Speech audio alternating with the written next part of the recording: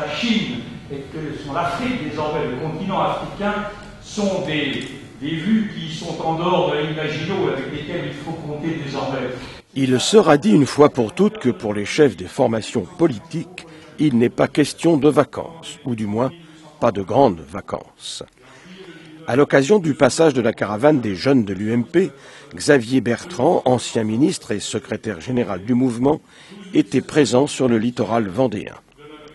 Après Noirmoutier et avant la Tranche-sur-Mer, il a tenu meeting au Sable d'Olonne. C'est en polo ou petite chemise qu'un public nombreux était venu écouter le chef de l'UMP.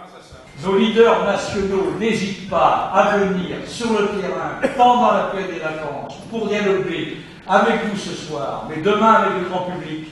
Ce qui montre que dans ce pays qui connaît une crise comme l'ensemble du monde entier, eh bien, l'UMP, par son côté populaire, son programme et ses actions, reste et demeurera une référence. Vous y aviez en parler.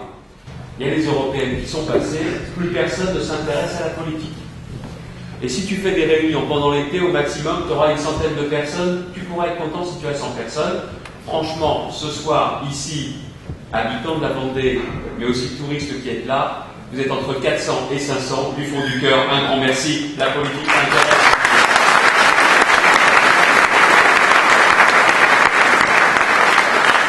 Si vous êtes là, c'est que vous aimez la politique. Si vous êtes là pour la plupart d'entre vous, c'est que vous soutenez l'action du président, c'est que vous soutenez l'action du mouvement populaire, mais pour certains aussi, vous posez certainement des questions. Et je l'ai vu, parce qu'il y a un certain nombre de personnes qui ont souhaité poser des questions et je veux y répondre. Moi, je veux savoir pour qui on vote. Et celui pour qui je vote, si jamais je ne le vois plus, je ne vote plus pour lui.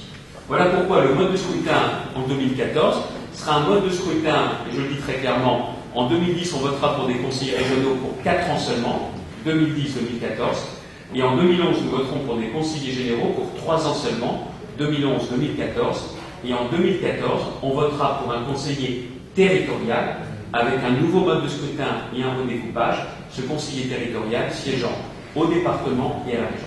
Et plutôt que de fusionner département et région, moi je propose de fusionner les élus, parce que c'est aux élus de donner l'exemple, et c'est aux élus de montrer qu'ils sont prêts à avancer et à changer. Voilà comment je conçois cette réforme des collectivités territoriales. Pour Xavier Bertrand, écouter, échanger, dialoguer autour des questions d'actualité avec le public est la bonne façon de convaincre les citoyens, d'accord ou non, du bien fondé des réformes envisagées par le gouvernement. On avait dit qu'on supprimerait les droits de succession pour 95% des Français, on l'a fait. Parce qu'au soir de sa vie, quand on a payé les impôts, quand on travaillait, on n'a pas envie que ce soit les impôts qui héritent, on a envie que ce soit la famille qui hérite. Les droits de succession ont été supprimés.